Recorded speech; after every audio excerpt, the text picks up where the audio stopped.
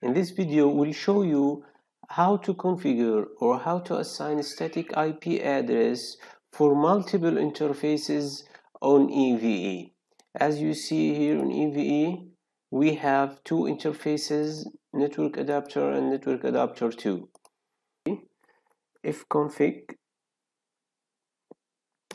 this command to see the interfaces of the EVE machine as you see this is our interface. We have pnet 0 which is the first network adapter on our EVE virtual machine and pnet 1 for example we want to assign an IP address for pnet 1 connect your EVE using any program like WinSCP such as WinSCP and go to this path slash etc slash network and here you will find interfaces file double click and change it. For example as you see here pnet 0 which is the first interface on EVE the second one which is pnet 1 uh, we want to assign a static IP so replace manual with word static and type address and the IP address you want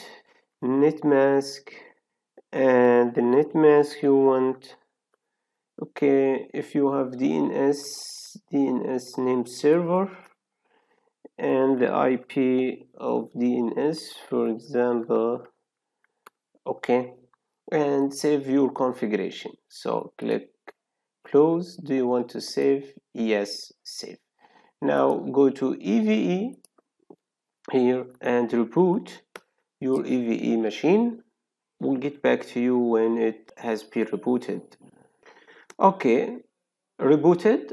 So uh, now ifconfig again and let's see pnet 1 now pnet 1 has an IP address. Thank you for watching